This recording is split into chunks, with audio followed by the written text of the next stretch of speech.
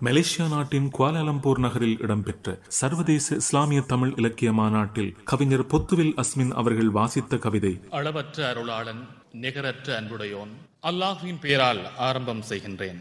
உலக கவியரங்கில் உயர்வாய் கவி படைக்க அழகு கவிதருவாய் ஆண்டவனே நபி அருளால் கூடி நிற்கும் சான்றோர் முன் வீழாத செந்தமிழைத்தா அண்ணல் நபியிடத்தில் ஆழ்கடல் போல் இருந்திட்ட அண்ணல் நபியிடத்தில் ஆழ்கடல் போல் இருந்திட்ட கண்ணல் குணத்தில் சிறு துளியை சிந்த வந்தேன். இன்னுமேன் மறைவாக இருக்கின்றாய் மணித்தமிழே அவன் துணையாள் விரைவாக இன்முன்னே வா. நெற்பதர் நான் எனை கவிதை நெய்துபடி என்றார்கள். நெற்பதர் நான் எனை கவிதை நெய்துபடி என்றார்கள். கட்கண்டு சொற்கொண்டு கவிபாடும் புலவர் முன் முற்புதர் நான் முகம்மதனும் முழுநிலவை பாடுவதா? கட்கண்டு சொற்கொண்டு கவிபாடும் புலவர் முன் முற்புதன் நான் முகம்மதனும் முழுநிலவை பாடுவதா? அற்பன் நான் கற்பனையில் ஆழ்ந்தபடி யோசித்தேன் விக்கித்தேன் எனக்குள்ளே விடை கேட்டு வினா தொடுத்தேன். துக்கித்தேன் பல நாட்கள் துயரத்தில் உயிர் துடித்தேன்.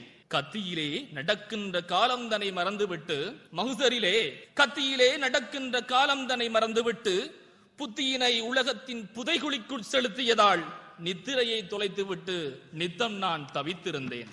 அல்லாஹுவை நேசித்தால் அல்லாஹுவை நேசித்தாள் அண்ணலினை சுவாசித்தாள். பொல்லாத கோடையிலும் பொசுக்கென்று மழை வருமே? எனவே நான் சிந்தித்தேன் என்னை நான் நிந்தித்தேன். வள்ளோனை தொழுது ஒரு வழி சொல்லு என்றெழுதேன் பொறுமையாயிருந்தேன் பொறுமையாயிருந்தேன். பொங்கியது சங்கத்தேன். இங்கே தங்கத்தேன் கொட்டுவோர் முன் இதை தந்து நான் தப்பித்தேன். தேமாங்காய் புளிமாங்காய் ஒரு மண்ணும் விளங்காமல் தெம்மாங்காய் பாடுகிறேன் பாட்டு. கவிக்கோவே நான் பாடும் பாட்டை நான் அறியேன் பெருங்கவியே கூனுண்டோ ஆய்ந்து நீர் கூறும். கிறுக்கும் கவியெல்லாம் கிழன்று வளர்கவியை நறுக்கி பின்னவரை நாறுகின்றார். திருக்கவியே நொறுக்கி என் நெஞ்சில் நோக்காடு தந்தோர் முன் சருகல்ல இவன் என்று சாற்றும். அழகு தமிழ் கவியின் ஆற்றலினை உணராதோர் மிளகாய் போல் மரபை நினைக்கின்றார். விலகாமல் பழகும் தமிழ் மொழியில் மரபுத்தாய் மாண்புகளை உலகுக்குச் சொல்வேன் உணர்ந்து வாவியை கடப்பதென்றால் வாவியை கடப்பதென்றால் வள்ளம் ஒன்றிருந்தால் போதும். ஓவியம் வரைவதற்கு ஓரிரு வரைகள் போதும். ஆவியை ஆட்சி செய்யும் அரசரை மக்கள் நஞ்சே கூவியே விழிக்கச் செய்த குயிலினை குறைசி பூவை காவியம் பாடுதற்கு காலம் நாள் போதாதனவே தீவினை ஓடச் செய்து தீனினை ஒளிரச் செய்ய நோவினை பொறுத்த எங்கள் கோவினை நபிகள் என்னும் பூவினை பற்றித்தான் யான் பாவினை ஏந்தி வந்தேன். மேவிய தகமி மிக்க மேதைகள் வளருமந்தன் பாவிலே குறைகள் காணின் பாவியை மன்னியுங்கள். காவியாய் இருந்த நெஞ்சை கவிதை போல் வெண்மையாக்கி சாவியாய் தொழுகை தந்த சத்திய புருஷன் நாமம் நாவினால் நவின்றால் கூட நாவினால் நவின்றால் கூட நரம்பலாம் களிமா சொல்லும் லா இலாஹ இல்லல்லா முகம்மது ரசூலுல்லா. எல்லா புகழும் உருவில்லா இறைவனுக்கே அல்ஹம்துலில்லா. நெறிகட்ட காவிர்கள் மக்காவெங்கும் நெறிகட்ட காவிர்கள் மக்காவெங்கும் நெருப்போடு இணை வைத்து வணங்கும் வேளை தரிகட்டோர் வெறிகண்டு கௌபாவெங்கும் தங்கத்தால் சிலை வைத்து கழிக்கும் வேளை புரியாத மாந்தர்கள் நபிகள் நெஞ்சை புண்ணாக்கி பழியுரைகள் கூறும் வேளை அறியாமை இருள் விலக இஸ்லாம் மார்க்கம் அண்ணலார் பொறுமையினால் தலைக்களாச்சு கருணைமிகு எம்பெருமான் கருணைமிகு எம்பெருமான் மக்கா நகரில் காளார அவ்வேளை நடந்து வந்தார். திருவழியே ஒரு கிழவி. திருவழியே ஒரு கிழவி தலையில் மூட்டை சுமந்தபடி முனகளுடன் முன்னே வந்தாள். கிருகிருப்பு தரும்பயிலில் நடந்து வந்த கிழவி அவள் நிலை கண்டு முன்னே சென்ற திருநபியோ திருநபியோ என் தாயே என் தாயே உங்கள் சுமையை நான் தலையில் சுமக்கின்றேன் தருவீர் என்றார். இல்லை நான் இல்லை நான் தொலைதூரம் செல்ல வேண்டும் வீண் சிரமம் உமக்கதற்கு விலகும் என்றாள் வெள்ளை மனம் வெள்ளை மனம் உள்ள நபி அவளை பார்த்து வெகு தூரம் சென்றாலும் வருவேனுங்கள் பிள்ளை போல் என எண்ணி தருவீர் என்று பிரியமுடன் அவளிடத்தில் கேட்டு நின்றார். சுல்லன்ற வெயில் பொழுதில் நபிகள் தலையில் சுமையேற்றி அவள் பின்னே நடக்கலானாள். தள்ளாடும் இவ்வயதில் நீங்கள் உங்கள் தாய்மண்ணை விட்டு ஏன் போகின்றீர்கள்? தள்ளாடும் இவ்வயதில் நீங்கள் உங்கள் தாய்மண்ணை விட்டு ஏன் போகின்றீர்கள்? பிள்ளைகள் உள்ளனரா? பிள்ளைகள் உள்ளனரா? என்று அங்கு என்று தொலைதூரம் சென்ற நபி வினவலானார். பொல்லாத ஒரு கொடியோ நீங்கள் முன்னோர் வணங்கி வரும் தெய்வமெல்லாம் பொய்யென்கின்றான். பொல்லாத ஒரு கொடியோ எங்கள் முன்னோர் வணங்கி வரும் தெய்வமெல்லாம் பொய்யென்கின்றான். அல்லாஹுவை வணங்கட்டாம் அல்லாஹுவை வணங்கட்டாம் என்று சொல்லி ஆத்திரத்தை கிளப்புகிறான். அதனால் போறேன். கல்லெடுத்து அவன் தலையை உடைக்கும் சக்தி கடுகளவும் எனக்கில்லே. அதனால் போறேன். கொள்ளையிலே போகட்டும். முகம்மத் தன்னை கொன்றாலும் அவன் பேச்சை கேட்க மாட்டேன். எல்லோரும் அவன் வழியில் போனால் கூட ஒருபோதும் அவன் வழியில் போக மாட்டேன். நில்லேன் நான். நில்லேன் நான் அவனில்லா ஊரை நோக்கி நிம்மதியை தேடித்தான் போறேன் என்றாள். வறுமை பூ வறுமை பூ தன் வாழ்வில் பூத்த போதும் வயிற்றினிலே கல் சுமந்து நின்ற மன்னர் பொறுமையினை எளிமையினை நேர்மை தன்னை பொக்கிசமாய் வைத்திருக்கும் எங்கள் தூதர் அருமை நபி அல்லாஹ்வின் அருளினாலே அருங்குணங்கள் அத்தனையும் கொண்ட அண்ணல் சிறுமையுடன் அவள் சொன்ன பேச்சை கேட்டு சிறிதளவும் கோபமின்றி தொடர்ந்து சென்றார். கேவலமாய் கேவலமாய் ஒருவரமை கேலி செய்தால் கேட்டிருந்து ரசிப்போமா? கேவலமாய் ஒருவரமை கேலி செய்தால் கேட்டிருந்து ரசிப்போமா? உடனே பேசும் நாவரத்து அவர் கையில் கொடுத்து விட்டு நம் சக்தி என்னவென்று காட்டுவோமா? கேவலமாய் ஒருவரமை கேலி செய்தால் கேட்டிருந்து ரசிப்போமா? உடனே பேசும் நாவரத்து அவர் கையில் கொடுத்து விட்டு நம் சக்தி என்னவென்று காட்டுவோமா? சாபமிட்ட கிழவி அவள் சுமையை தூக்கி சாந்தி நபி சாந்தமுடன் செல்லுகின்றார். சாபமிட்ட கிழவி அவள் சுமையை தூக்கி சாந்தி நபி சாபமுடன் செல்லுகின்றார். கோபம் என்ற சொல் கூட அறியாதந்த கோமகனின் பொறுமை முன் நாங்கள் எங்கே? செல்லுமிடம் சேர்ந்ததனால் தலையின் சுமையை வள்ளல் மனம் உள்ள நபி இறக்கி வைத்து நல்லபடி வந்து விட்டோம். நல்லபடி வந்து விட்டோம் மகிழ்ச்சியுமா நான் சென்று வருகின்றேன் என்றார் பணிவாய். நல்லபடி வந்து விட்டோம் மகிழ்ச்சியும்மா நான் சென்று வருகின்றேன் என்றார் பணிவாய். எல்லையற்ற பேரன்பு உள்ளம் கொண்ட பிள்ளை நீர் யாரென்று கிளவி கேட்டாள். எல்லையற்ற பேரன்பு உள்ளம் கொண்ட பிள்ளை நீர் யாரென்று கிளவி கேட்டாள். அள்ளல் தரும் கொடியவனாய் நீங்கள் சொன்ன பொல்லாத நபி முகமது நான் தான் என்றார். அள்ளல் தரும் கொடியவனாய் நீங்கள் சொன்ன பொல்லாத நபி முகமது நான் தான் என்றார். சங்கை மிக்க நபி பெருமான் வார்த்தை கேட்டு கங்கை போல் நீர் பெருக அழுத மாது தங்கமரம் படித்தவரே நபியை உம்மை தவறாக பேசியதை மன்னியுங்கள். உங்களது பொறுமையினால் இஸ்லாம் மார்க்கம் உலகமெல்லாம் பரவும் இது உண்மை என்று அங்கமெல்லாம் நடு நடுங்க ஈமான் கொண்டு. அண்ணலார் கரம் பற்றி களிமா சொன்னார்.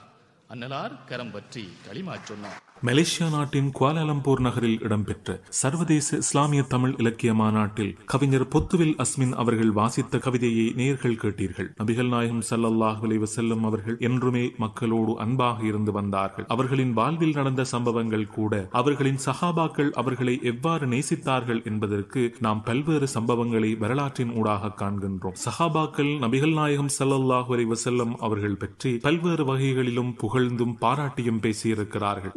உண்மையான நேசத்தை நபிகள் நாயகம் ஸல்லல்லாஹு அலைஹி வஸல்லம் அவர்களின் மீது சொரிந்திருக்கிறார்கள் நபிகள் நாயகம் ஸல்லல்லாஹு அலைஹி வஸல்லம் அவர்களின் சிறப்புகள் பற்றி சஹாபாக்கள் கூறிய கவிதைகளை நாம் இப்போது கேட்கலாம். அதனை வழங்குகிறார்கள் மௌலவி அல் உஸ்தாஸ் அப்துல் நாசர் ஹனீஃபா அவர்கள். அஸ்ஸலாமு அலைக்கும் வரஹ்மத்துல்லாஹி வபரகாத்து. ரபியுனில் அவ்வல் பிறந்துள்ளது.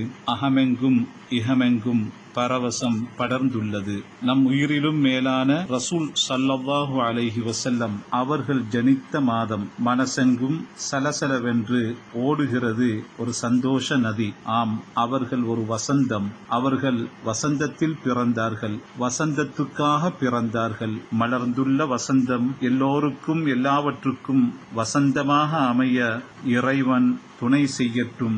ரபிஉனில் அவ்வல் மாதம் பொதுவாக முஸ்லிம்கள் எல்லோரும் அருமை நபி சல்லல்லாஹு அலைஹி வசல்லம் அவர்கள் ஜனித்த இந்த மாதத்தை அவர்களுடைய புகழை பேசி அவர்களின் குணாதிசயங்கள் வழிகாட்டல்கள் அவர்கள் மனித சமூகத்தின் விடிவுக்காக எடுத்துக்கொண்ட முயற்சிகள் செய்த அர்ப்பணங்கள் இவை யாவற்றையும் ஒரு சேர நினைத்து பார்க்கிற ஒரு மாதம். இன்று ரசூலுல்லாஹி சல்லல்லாஹு அலைஹி வசல்லம் அவர்கள் அவர்களுடைய மீலாதை பிறப்பை ரபியுனில் அவ்வளின் பன்னிரண்டாம் தினத்திலே நாம் நினைவு கூறுகின்ற சமயத்திலே அருமை நபி சல்லல்லாஹு அலைஹி வசல்லம் அவர்களை பற்றி அவர்களை உயிருக்கு உயிராக நேசித்த தோழர்கள் கவிதைகளில் என்னென்ன சொன்னார்கள் என்பதை கொஞ்ச நேரம் உங்களோடு பகிர்ந்து கொள்வதற்கு விரும்புகின்றோம். அருமை நபி சல்லாஹு அலஹி வசல்லம் அவர்களிடத்திலே இருந்த சஹாபிகள் பலர் இயல்பாகவே கவிதை சொல்பவர்களாக இருந்தார்கள். அவர்களிடத்திலே இருந்த கவித்துவம் நிறைய பெற்ற சஹாபிகளில் குறிப்பிடத்தக்கவர்களாக அப்துல்லாஹிபுனு ரவாஹா கஅபுபுனு மாலிக் ஹஸ்ஸானுபுனு சாபித் போன்ற பலரை நாம் குறிப்பிடலாம் ரதியல்லாஹு அன்ஹும் கவியரசர் ஹஸ்ஸானுபுனு சாபித் ரதியல்லாஹு அன்ஹு அவர்கள் இவ்வாறு சொன்னார்கள் வல்லாஹி மா ஹமலத் உன்சா வலா வதஅத் மிஸ்லன் நபியி ரசூலில் உம்மத்தில் ஹாதி உம்மத்தின் வழிகாட்டும் தூதர் நபியை போன்றவரை அல்லாஹ் மீது ஆணையாக ஒரு பெண் சுமக்கவும் இல்லை பெற்றெடுக்கவும் இல்லை அன்பு நபி முஹம்மது சல்லாஹு அலைஹி வசல்லம் அவர்களை போல ஒருவர் அவர்களுக்கு முன்னரோ அவர்களுக்கு பின்னரோ பிறக்கவில்லை. உடல் கட்டமைப்பிலும் சரி மனிதனுடைய பண்புகளிலும் சரி நடத்தைகளிலும் சரி குணநலன்கள் குணாதிசயங்களிலும் சரி அவர்களுக்கு ஒப்பாக சொல்லக்கூடிய ஒருவர் தானும் அவர்களுக்கு முன்னரோ அவர்களுக்கு பின்னரோ இந்த காசினியில் பிறக்கவில்லை என்பதை ஹஸ்ஸான் சாபித் ரலியல்லாஹு அவர்கள் இந்த முத்தான வரி மூலம் நமக்கு சொல்லுகிறார்கள். வதம்மல் இலா ஹுஸ்மன் நபியி இல ஸ்மிஹி இதா قال في الخمس المؤذن அஷ்ஹது முஅத்தின் ஐவேளைகளில் அஷ்ஹது சொல்லும் போது அல்லாஹ் தன் பெயரோடு நபியின் பெயரை சேர்த்துக் கொண்டுள்ளான் என்று சொல்கிறார்கள் ஐந்து நேர தொழுகைகளுக்காக அதான் சொல்லும் முஅத்தின் அஷ்ஹது அல்லா இலாஹ இல்லல்லாஹ் என்று சொன்னதன் பின் அஷ்ஹது அன்ன முஹம்மதர் ரசூலுல்லாஹ் என்று சொல்கிறார் அல்லவா அல்லாஹ் அதானை உம்மத்துக்கு கொடுத்த வேளை தன்னுடைய பெயரை மாத்திரம் சொல்லி முடித்துக் கொள்ளாமல் தனக்கு மிகவும் நெருக்கமான விருப்பமான இறுதி தூதர் முகமது சல்லாஹு அலஹி வசல்லம் அவர்களின் பெயரையும் சொல்லும்படியாக வைத்துள்ளான். இது அன்பு நபி முகமது சல்லாஹு அலஹி வசல்லம் அவர்களுக்கு அல்லாஹ் கொடுத்த அதி உயர் கௌரவமாகும். இந்த கவிதைகள் ஹதீஸ் நூல்களிலும் வரலாற்று நூல்களிலும் பாதுகாக்கப்பட்டு இருக்கின்றன. அபு சுஃபியான் இப்னுல் ஹாரிஸ் ரலியல்லாஹு அன்ஹு அவர்கள் பலம் நர மிஸ்ல மிஸ்லஹு ஃபின்னாசி ஹய்யா வலைஸ லஹு மினல் மௌத்தா அதீலு மனிதர்களில் அவர் போன்றவரை உயிர் வாழ நாம் காணவில்லை. மரணித்தவர்களில் அவருக்கு நிகரானவரும் இல்லை. ஆஹா அற்புதமான தேன் சொட்டும் வரிகள். ஹஸ்ஸான் சாபித் ரலியல்லாஹு அவர்கள் பின்வருமாறு சொல்கிறார்கள். ரசூலுல்லாஹி ஸல்லல்லாஹு அலைஹி வசல்லம் அவர்களுடைய பரக்கத் நிறைந்த கபரை முன்னோக்கி படிக்கிறார்கள். ஃபபூரிக்த யா ரசூலி பிலாதுன் சுவி ஃபீஹர் ரஷீதுல் முசத்தது. ரசூலின் கபரே நீ பரக்கத் செய்யப்பட்டுள்ளாய். அவர் நல்லடக்கம் செய்யப்பட்டுள்ள ஊரும் பரக்கத் செய்யப்பட்டுள்ளது. இவ்வாறே சஹாபிகளின் கவிதைகள் ஏராளம் இருக்கின்றன. இனி வரும் காலங்களில் சந்தர்ப்பங்கள் வாய்க்கின்ற போது அவற்றை விரிவாக பார்ப்பதற்கு இன்ஷா அல்லாஹ் நாம் முயல்வோம். இப்படி சஹாபிகள் அருமை நபி ஸல்லல்லாஹு அலைஹி வசல்லம் அவர்களை பற்றி புகழ்ந்து படித்த கவி வரிகளை படிப்பதன் மூலம் நபி அவர்கள் மீதான ஸல்லல்லாஹு அலைஹி வசல்லம் நமது காதலை அதிகப்படுத்திக் கொள்கின்றோம். ரசூலுல்லாஹி சல்லாஹு அலைஹி வசல்லம் அவர்களை காதலிப்பதன் மூலம் இந்த உலகத்திலும் மறு உலகத்திலும் நாம் ஜெயம் பெறுவோம். அவர்களுடைய காதலை கொண்டு நாம் அனைவரும் அவர்களோடு நாளை மறுமையில் அவர்கள் இருக்கின்ற உன்னதமான சுவனபதியிலே நாம் எல்லோரும் அவர்களோடு ஒன்றாக வாழுகின்ற பாக்கியம் நம் அனைவருக்கும் கிட்டட்டுமாக. வல்லல் நபி ஸல்லல்லாஹு அலைஹி வசல்லம் அவர்களின் பரக்கத் இந்த பூமியில் ஒவ்வொருவர் மீதும் ஒவ்வொன்று மீதும் எப்பொழுதும் வியாபித்து இருக்கட்டுமாக வஸ்ஸலாமு அலைக்கும் வரஹ்மத்துல்லாஹி வபரகாத்து நேர்கள் இதுவரை நபிகள் நாயகம் செல்லல்லாஹ் அலைஹி வஸல்லம் அவர்கள் பற்றி சஹாபாக்கள் கூறிய கூற்றுக்களை இதுவரை கேட்டீர்கள். உங்களோடு பகிர்ந்து கொண்டார்கள் மௌலவி அல் உஸ்தாஸ் அப்துல் நாசர் ரஹ்மானி அவர்கள். நபிகள் நாயகம் செல்லல்லாஹ் அலைஹி வஸல்லம் அவர்கள் மீது உஸ்மானிய பேரரசின் ஆட்சியாளர்கள் மிகவும் கூடுதலான கண்ணியத்தை வைத்திருந்தார்கள். உஸ்மானிய பேரரசின் ஸ்தாபகரான ஹலீஃபா உஸ்மான் காசி அவர்கள் நபிகள் நாயகம் செல்லல்லாஹ் அலைஹி வஸல்லம் அவர்களின் மீது கூடுதல் அன்பு வைத்திருந்தார்கள். அவர்களின் காலத்திலிருந்து நபிகள் நாயகம் ஸல்லல்லாஹு அலைஹி வஸல்லம் அவர்களின் மீலாத்தின நிகழ்வில் சிறப்பம்சங்கள் இடம்பெற்றதை நாம் வரலாற்றின் ஊடாக காண்கின்றோம். ஹலீஃபா சுலைமான் அவர்களின் காலத்தில் உஸ்மானிய பேரரசில் முக்கிய நிகழ்வாக மீலாதுன்னபி தின நிகழ்வு கொண்டாடப்பட்டது. ஹலீஃபா சுல்தான் மூன்றாவது முராத் அவர்களின் காலத்தில் நபிகள் நாயகம் ஸல்லல்லாஹு அலைஹி செல்லும் அவர்களின் மீலாத்தின நிகழ்வானது அரச நிகழ்வாக கொண்டாடப்பட்டமை சிறப்பம்சமாகும். உஸ்மானிய பேரரசின் ஆட்சியில் மீலாதுன்னபி தின நிகழ்வுகள் ரபி உல் அவ்வல் மாதம் பிறை பனிரெண்டில் இடம்பெற்றன. பிறை பனிரெண்டில் இடம்பெற்றன. உஸ்மானிய பேரரசின் மீலாதுன் நபி தின நிகழ்வுகளின் போது முதலில் அணிவகுப்பாக அனைவரும் பள்ளிவாசலை நோக்கி செல்வார்கள். பின்னர் பள்ளிவாசலில் மக்கள் ஒன்று கூடுவார்கள். அதனைத் தொடர்ந்து ஒருவர் புனித அல் குர்ஆன் சூரா ஃபத்ஹை ஓதுவார். உஸ்மானிய பேரரசின் சுல்தான் அங்கு வருவார்கள். பின்னர் முவாரிஃப் என்று அழைக்கப்படுபவர் நபிகள் நாயகம் ஸல்லல்லாஹு அலைஹி அவர்களின் உடல் ரீதியான அடையாளங்களையும் அதன் பண்புகளையும் மக்களுக்கு விளக்குவார்கள். அதனைத் தொடர்ந்து ஹாகியா சோஃபியா மற்றும் நீல நிற பள்ளிவாசலில் இமாம்கள் இருவரும் ஒருவர் பின் ஒருவராக மிம்பர் மேடையில் ஏறி பிரசாரம் செய்வார்கள். அவர்கள் ஒவ்வொருவரினதும் பிரசங்கத்தினை தொடர்ந்து அவர்களுக்கு பரிசுகள் வழங்கி கௌரவிக்கப்படும். அதேவேளை